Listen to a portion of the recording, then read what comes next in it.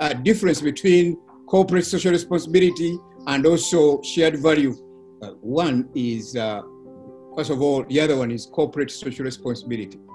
The word keyword there is responsibility. You are responding to pressure, citizen activism.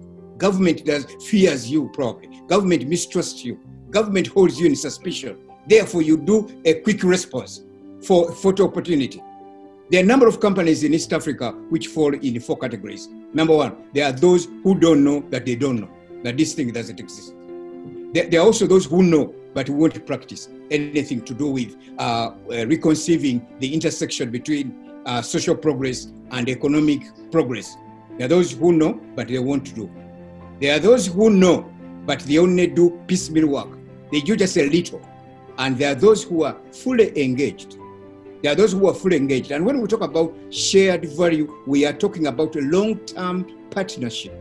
When we talk about corporate social responsibility, we are talking about short termism, photo opportunity that we have done a little contributing something.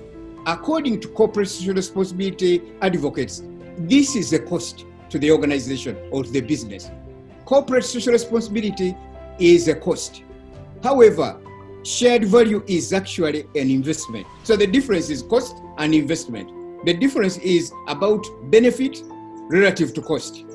Now, if you look at uh, corporate social responsibility, we usually see it as a handshake. Shared value is an embrace. It's a long-term engagement. The strategy and execution of a strategy of a business is at, at the center is what we call purpose.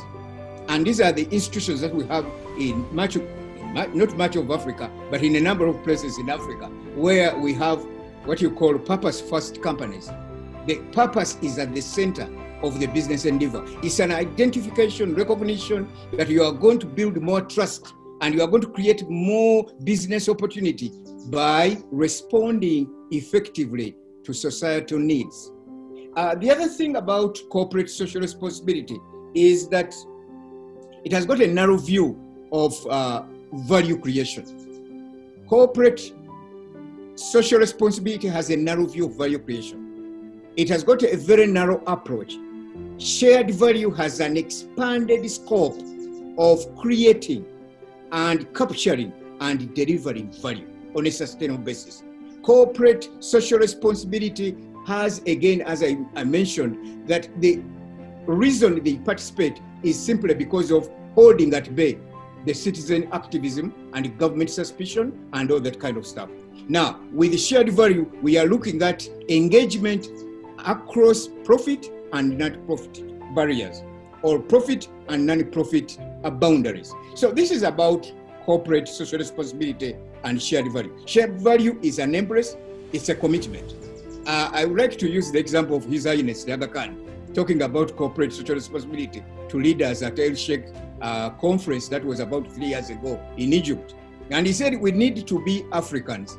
And he says that if we are going to be masters of our own destiny, we should control and manage the ideas that will shape that destiny.